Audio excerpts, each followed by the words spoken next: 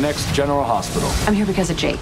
It's better if I handle Helena alone. You're a welcome distraction. I'm gonna find a reason to arrest Sonny Corinthos. You're not respectful, and that is a problem for me. What could you need me to forgive you for?